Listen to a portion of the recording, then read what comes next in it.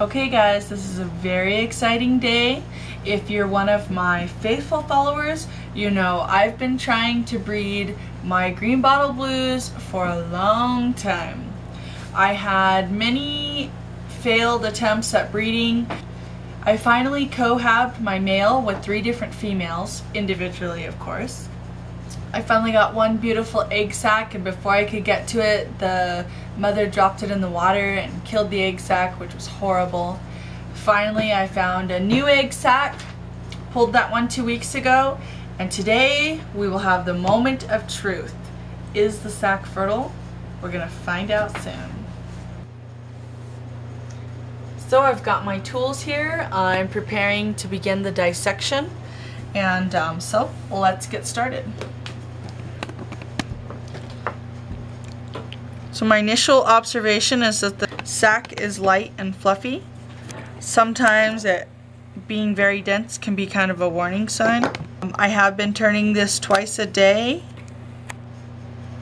for the last two weeks. And about Wednesday of last week, the consistency of the sack changed from a very smooth roll to kind of a rough roll which I'm hoping indicates that we've got animals growing and that we went from a cluster of eggs to possibly eggs with legs. So the most critical cut is this first puncture through the sac because you're totally blind.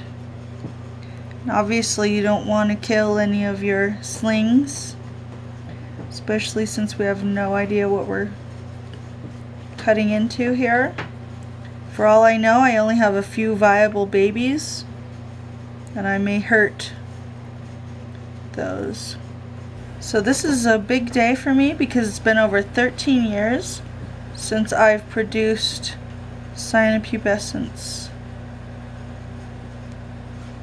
Okay, this is good what I'm seeing so far.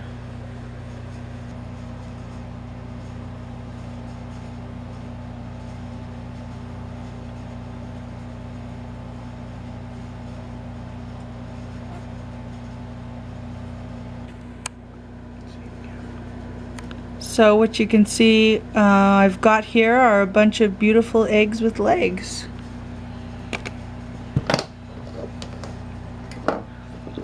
Every single sling so far looks to be alive and thriving, which is amazing. I'm ecstatic right now. Although I'm also being very, very cautious, so.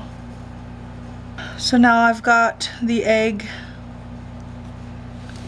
halfway open, I'm going to go ahead and transfer it to my incubation chamber. See all the layers of silk here. Oops.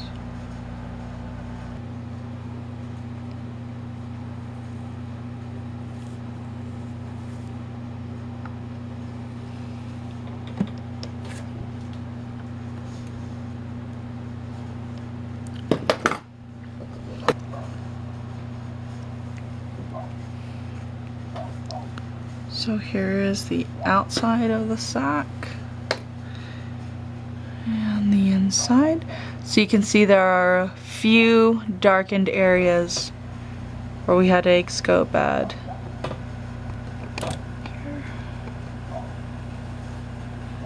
But overall, great success rate.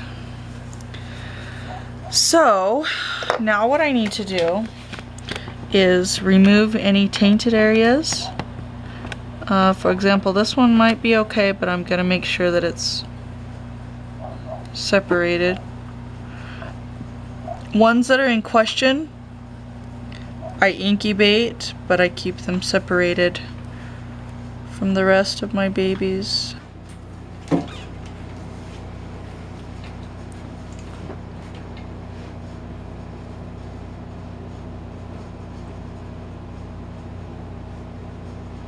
So I'm just going to move a good cluster of these over to another chamber. and then spread them out. So I've got all these kiddos separated out as best I can. We're going to put the lids on and transport them to the incubator. So in my estimation I've got several hundred eggs here to be sure.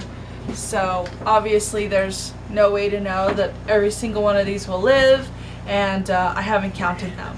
But um, hopefully we'll have a whole lot of GBB soon. So keep you guys posted.